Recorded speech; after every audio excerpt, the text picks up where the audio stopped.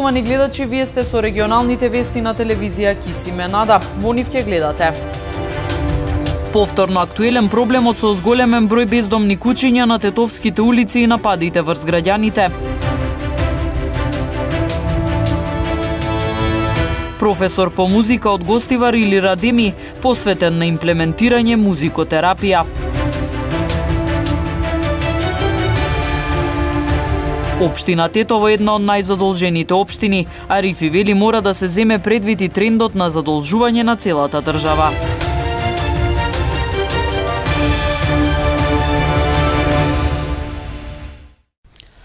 Повторно актуелен проблемот со зголемен број бездомни кучиња на тетовските улици, а со тоа и нападите врз граѓаните. Во Центарот за јавно здравје Тетово за нецел месец пријавени биле 11 каснувања. 11 граѓани пријавиле каснување од куче бездомник во Центарот за јавно здравје Тетово за нецел јануари. Само тројца од нив решиле да го тужат комуналното предпријатие за нанесената штета. Колку за споредба во текот на 12 месеци во 2020 имало вкупно 30 пријави. Граѓаните се жалат дека не можат слободно да се движат низ градот, бидејќи кучињата се непредвидливи и често агресивни. Многу ги има, претерано. Агресивни се, на моменти непредвидливи се едноставно. Идат по 10, по 20, смо ги среќавал низ град многу. На секоја страна, тоа треба нешто да се презеба. Сабеле да изгледа што и кај живеам, јас не може жени да иде дома. Па ова е више сме се навикнале ние у тето може 20-30 години уназад тоа нас не се случува. А има примери, има примери на нападнати луѓе. Посебно на вечер се бајле рано. Да, има. Има и во село, има и некој агресив многу е. И се плашат и деца кога иде во школа и Овие кучиња валда ги пуштаат од страна или од село или од градовите натаму на вама. А треба да се земе на обзир, бидејќи идат луѓе на работа, прва смена не може да се помине по пат од тие кучињава. Улица има кучиња. Тие не се криви и да не се луѓе ранеле и пуштиле се да страда.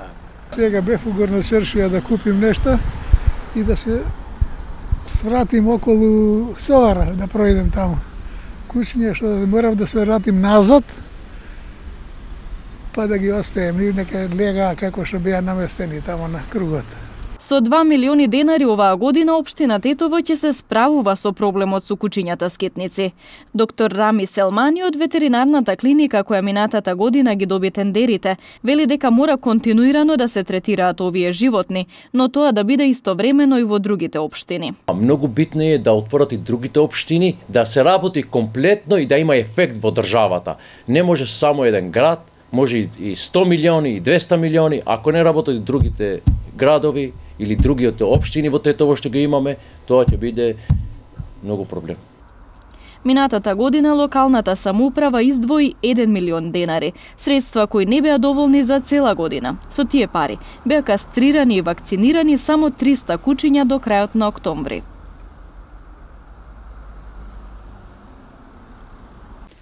Професорот по музика од Гостива Рили Радеми последниве години е посветен на имплементирање на музикотерапија, која многу позитивно делува врз развојот на децата со посебни потреби. Оваа техника кај нас е нова, но докажано дава резултати, вели музикотерапевтот. Музикотерапијата во светот станува растечки тренд во третманот на разни состојби и нарушувања – во земјава се уште е во зародиш, а во Гостивар последниве години ја изучува и имплементира професорот по музика или Радеми. Музиката многу позитивно делува врз развојот на децата со посебни потреби, ги релаксира и ги смирува, вели тој.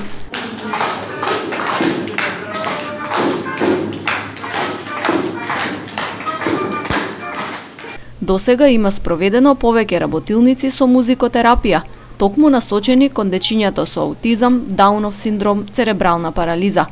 Во тие сеанси децата развиваат комуникација преку звуци, песна, игра.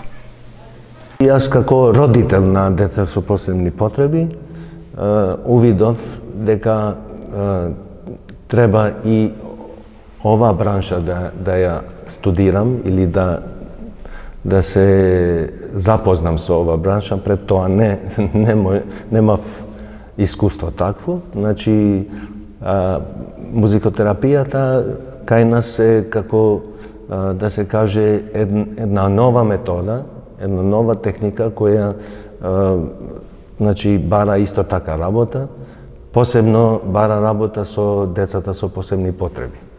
Кога станува збор за спроведување ваков вид на техника, најчесто се работи во групи, но се прават и индивидуални сеанси. Се зависи од проценката на музикотерапевтот, вели Адеми. Тоа зависи све од, од тоа програмата која ќе го направи музикотерапевтот. Значи, имаме работа и во групи, но имаме работа инди, индивидуално. Значи имаме деца кои се социализирани во групи, но имаме деца со посебни потреби кои кои не можат да, га, да ја прифатат групата во почеток, но под, подоцна, значи, со текот на работилниците и тие ја прифаќат. Музикотерапијата не значи дека треба да се користи как, само кај децата со посебни потреби. Може да се користи и кај децата кои има потешкоти и во учењето.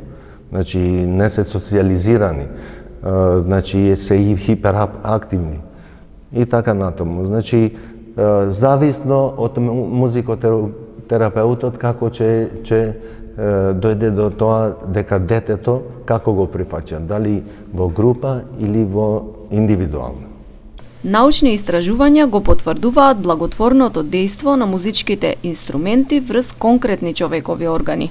Така, на пример, харфата најмногу се користи во лекувањето на пациенти кои боледуваат од бронхитис и бронхиална астма. Звуците на гитарата најчесто се препорачуваат во лекување на срцеви заболувања, додека пијаното за здрав желудник.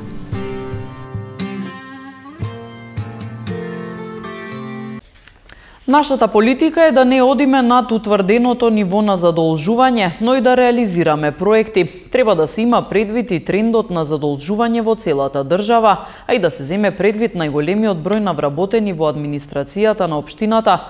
Ова го истакна градоначалничката Теута Арифи по однос на прашањето за задолженоста на општина Тетово. Со години општина Тетово е задолжена општина, значи наша а, политика била да не одиме над тоа ниво на задолжување, туку а, та, тоа ниво и да го задржиме, но исто така и да работиме и да реализираме а, проекти. Исто така треба да се има предвид и целосниот тренд, трендот во однос на долговите и задолжувањата во цела држава и тенденциите што се во светот, Значи, од тој аспект за нас е важно да бидеме дел на пошироки политики во однос на градење на државни политики кон програмирање или репрограмирање на долгот. Нормално дека за нас би било добро и важно да се најдат програми како да се оди со репрограмирање на долгот на општините, што би дала можност за поголем исто така развој на општината. Треба да се има предвид фактот дека и општината Тетово е една од општините со најголем а, број на вработени а, на администрација и така да, меѓу другото, тоа не треба да се подцени кога зборуваме во едни пошироки контури за, за задолженоста на општината. Ако ја дебатираме темата на администрацијата, како и за темата на долгот, би рекла дека тоа треба да биде дел на една поширока дебата во однос на статусот и бројот на администрацијата во цела држава, не само во општината. Управата за хидрометеоролошки работи информира за појава на обилни врнежи од дошт во недела попладне. Во Полошкиот регион се очекува да наварнат на 25 литри. Од средината пак на следната недела се очекува пораст на дневните температури. Доста променливо време во изминатите неколку дена во Полошкиот регион и викендов се очекува променливо облачно со сончеви периоди, но и врнежи од дошт. Пообилни врнежи се очекуваат од утре попладне, а најмногу врнежи се предвидува да има ноќта во недела кон понеделник. Според информациите од Управата за хидрометеоролошки работи, температурите ќе се движат околу 9 степен. Во текот на ноќта пак ќе има некое зголемување на облачноста, утре ќе биде облачно, а после пладне ќе има врнежи од дошт, само на повисокиве наша планина ќе бидат во текот во вечерните во текот на ноќта ќе бидат од снег. И во понеделник после пладне се очекуваат врнежи во котлините, а снег на планините. Од вторник е пооблачно во вторник, меѓутоа и постепено се зголемуваат, има пораст на дневната температура, утринските не се многу високи, максимумот утринскиот до, до максимум до 2 степени. Во текот на викендот се прогнозира и појава на умерен ветер од јужен правец, а во Полошкиот регион за време на викендов се очекуваат врнежи над 25 литри. Угостителите не одстапуваат од својот став дека угостителскиот сектор и сите засегнати страни поврзани со него треба да добијат финансиска помош од државата. Според председателот на независната угостителска комора Здравко Јосифовски, носењето субвенции за еден или два месеци не е решение на проблемите. Субвенцијата за плати ќе продолжи за угостителската индустрија. Очекуваме за угостителите субвенцијата за плати да биде без услови, односно секој угостител за секој вработен да може да ја добие соодветната соодветната субвенција како и а, значи поддршка за покривање на загубите на угостителите во висина на 20 милиони евра кои што ги баравме за сите 6.500 угостителски објекти да се донесе одлука и да биде сукцесивно распределена од 1000 до 5000 евра по угостителски објект. Проблемот е што петиот сет мерки понатаму се крои без учество на угостителите и оние загрозени страни кои што се од угостителската индустрија во случајов музичарите. Значи сетот мерки субвенција не е само што ќе се донесе за еден или за два месеци да се мисли дека е завршена работата сетот мерки субвенција, поготово за платите да се одржат сите вработени во гостителската индустрија, треба да трае до завршување на пандемијата како што е нашата обарање во како што се нашите барања доставени предходно до владата и не само за нас. Со оглед дека ни е забрането настапи на естрадни уметници во гостителски објекти, истите субвенции да продолжат и за естрадните уметници. Да не ги забораваме нокните клубови и оние ресторани кои што се од голем тип наменети за прослави и настани, дека субвенцијата, односно грантовите што ги покрија, не покриваат ништо од трошоците, дека истата и за нив треба да продолжи, овој пат повторно не селективно за одредени сектори, туку за сите сектори во угостителството. Угостителот Тетовски Порој добил кривична пријава поради постоење основи на сомнение за сторено кривично дело, непостапување според здравствените прописи за време на епидемија. СВР Тетово поднесе кривична пријава против 58 годишникот село Порој Тетовско, собственик и управител на угостителски објект, поради постоење основи на сомнение за сторено кривично дело, непостапување според здравствени прописи за време на епидемија.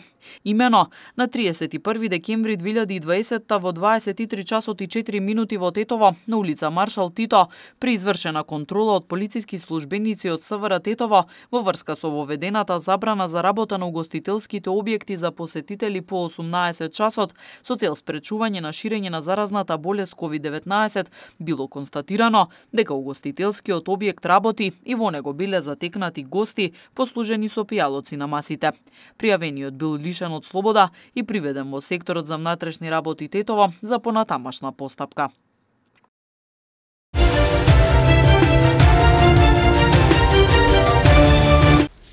Кошаркарскиот клуб Тетекс од Тетово после 22 години повторно ќе има своја младинска школа.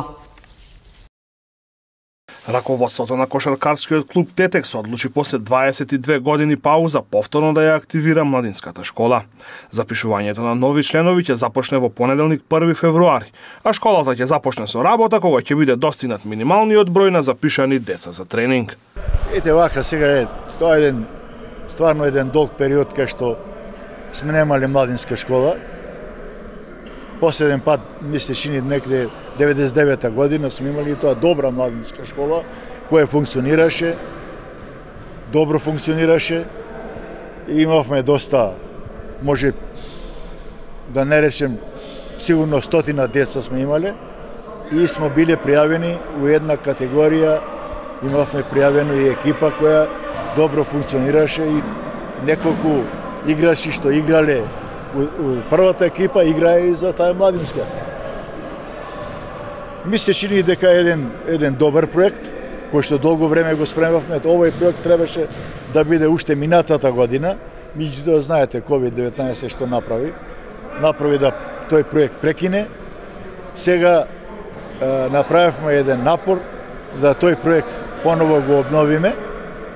Направивме по нашите портали на нашата страница ККТТ стои таму дека се врши упис во школата на, на ККТТ, та така тоа е еден сериозен проект и мислим дека ќе успее проектот. Пријавувањето ќе се врши.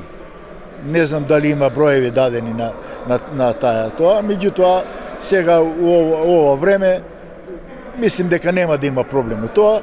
Ние имаме тука понеделник, среда, петок тренизи, може кој сака да дојде, да се пријави, така да негде од први, втори ќе почне со уписи, а ќе видиме како ќе биде како ќе биде одзивот, штом ќе се ќе имаме доволен број на на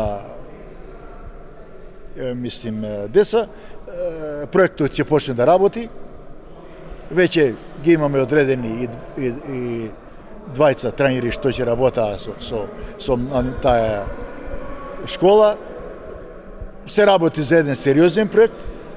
Мислим дека ќе се реализира и дека сите таленти од градот ќе ги собереме на едно место и Тетекс ќе функционира како клуб што заслужува да биде. До сега смо немале таква прилика.